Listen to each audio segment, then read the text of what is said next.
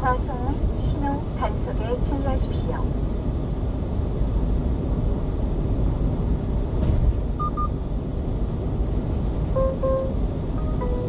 약 500m 전방에 60km 과속 및 신호 단속에 주의하십시오.